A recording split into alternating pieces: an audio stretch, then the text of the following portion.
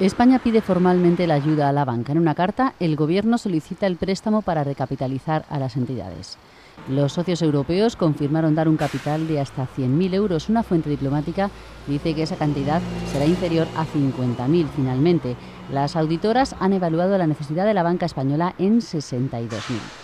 Tras la petición oficial del Ejecutivo, el crédito se podría aprobar en la reunión del Eurogrupo del próximo 9 de julio. Allí habría que firmar el memorando con sus condiciones. El Gobierno español sigue planteando, en contra de la opinión de Alemania, que la ayuda se otorgue directamente a la banca y que no lo canalice el Estado a través del FROP. Con eso quiere evitar que el Estado figure como garante y que aumente su deuda pública. Evidentemente esa posibilidad está absolutamente abierta para España si se va concretando en, las próximas, los próximos meses, en las próximas semanas. Tengan ustedes en cuenta que el proceso de recapitalización no es un proceso instantáneo, es decir, hay que establecer lo que son la hoja de ruta y eh, que las necesidades de capital se irán eh, analizando, se irán concluyendo en los próximos, en los próximos días. La carta que se envía hoy a los socios europeos es, en palabras del ministro de Economía Luis de Guindos, una hoja de ruta para despejar incertidumbres.